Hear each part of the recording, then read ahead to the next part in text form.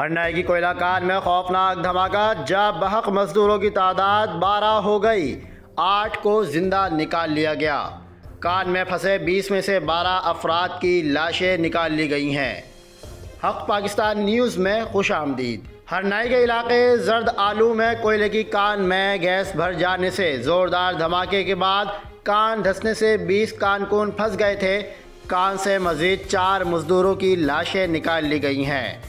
जिसके बाद वज़ीर अला बलूचिस्तान सरफराज बुकटी ने फौरी तौर पर वाक़े का नोटिस लेते हुए रिपोर्ट तलब की थी। साथ ही रेस्क्यू ऑपरेशन तेज़ करने की भी हिदायत जारी की थी।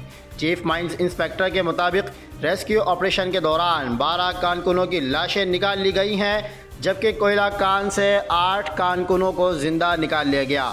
चीफ माइंस इंस्पेक्टर का मजीद कहना है कि कोयला कान को ऑपरेशन मुकम्मल होने के बाद सील कर दिया गया है। दूसरी जानब वजी अजम शहबाज शरीफ का कहना है, इस तरह के वाक़ात इंतहाई तकलीफ़ और अफसोसनाक हैं। गम की घड़ी में मुतासर ख़ानदानों के साथ खड़े हैं।